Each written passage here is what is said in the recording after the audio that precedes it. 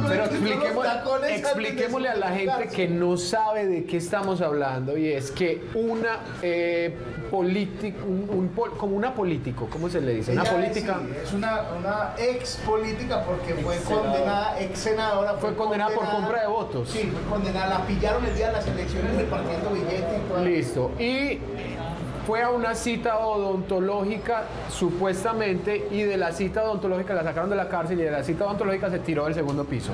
Ahora, Con una cuerda. Con o sea, una eso cuerda. ya era planeado.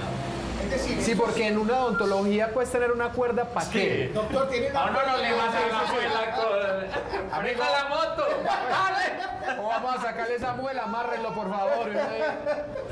No, eh, mal en esa noticia. o sea, todo está mal. Es que es mal, el mismo escape para que es mal. es- No, está mal. Esa pelada, si no es para moto, la alcanzan a media cuadra.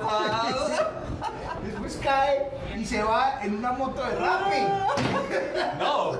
Lapso entre la caída, la gente mirando como, eh, esto se tiró de allá, o sea, no pasa nada. Y se demoró mucho para montarse a la moto. el tipo. Y ella como que no soltaba la cuerda, como que venía, esto, esto hay que entregarlo. Con No. ese dolor de tobillo, se va a flotar la cuerda, Leo.